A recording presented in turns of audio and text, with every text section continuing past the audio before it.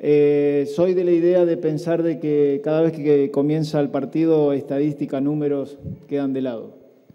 Es un partido que todos debemos disfrutar, todos debemos ver un partido de fútbol, que no deja de ser un partido de fútbol.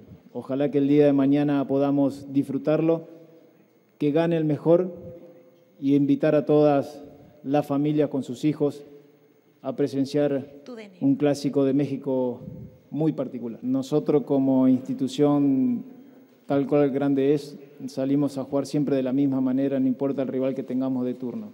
Sí respetamos a todos los rivales, sea de local o de visitante, nosotros siempre jugamos de la misma manera. Este no va a ser el caso que yo cambie la forma de jugar, no, al contrario.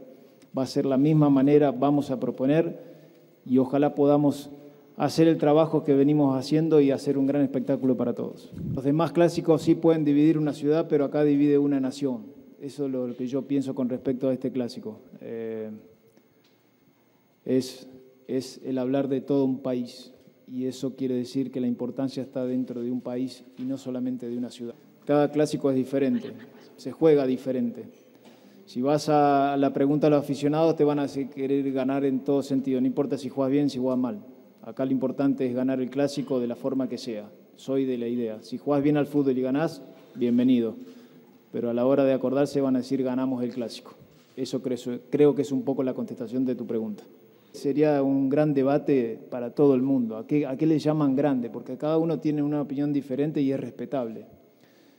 A mí me enseñaron cuando hablábamos de un equipo grande, se refiere en todo sentido, a logros, eh, a estadísticas, a números.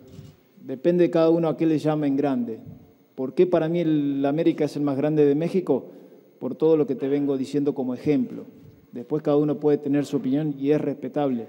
Pero yo entiendo que cuando hablas de un equipo grande es por todo lo que te nombré recién.